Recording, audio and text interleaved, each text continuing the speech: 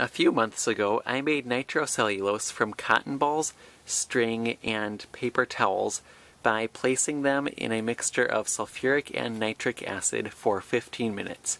The mixture was 2 parts sulfuric acid to 1 part nitric acid by volume, and both acids were concentrated.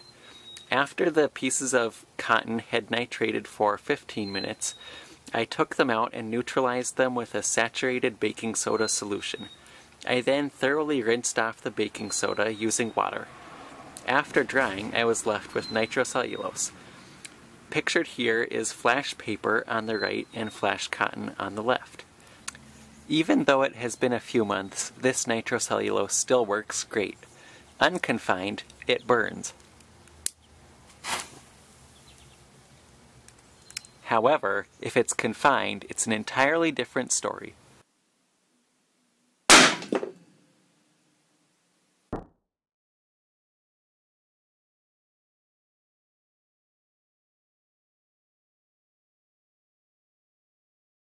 Flash paper has many interesting applications, some of which include magic tricks and hiding secret messages.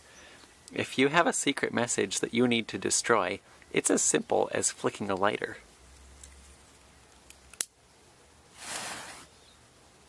Another one of the things I tried nitrating was cotton string. This is 100% cotton string, but I don't think it's actually 100%.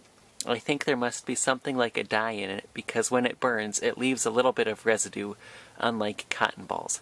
Anyhow, I made a fun little spiral of this, so let's light it up.